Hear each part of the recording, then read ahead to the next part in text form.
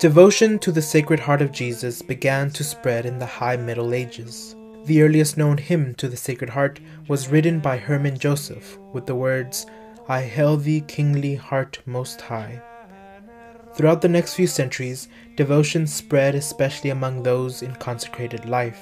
The modern form of the devotion comes from Margaret Mary, a French nun who claimed that Jesus appeared to her between 1673 and 1675 and taught her this specific devotion, namely, reception of communion on the first Friday of each month, Eucharistic adoration on Thursdays, and the celebration of the Feast of the Sacred Heart.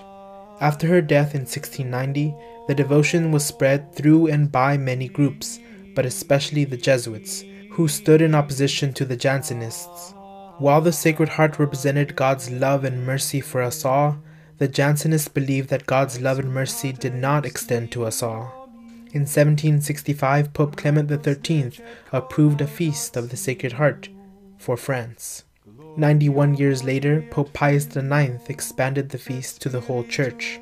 A few years later, Pope Leo XIII declared in his encyclical When the Church, in the days immediately succeeding her institution, was oppressed beneath the yoke of the Caesars, a young emperor saw in the heavens a cross, which became at once the happy omen and cause of the glorious victory that soon followed.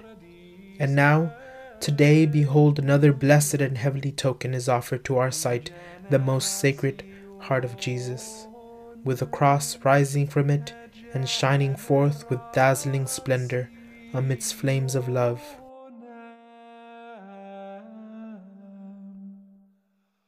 ut eruat a morte animas eorum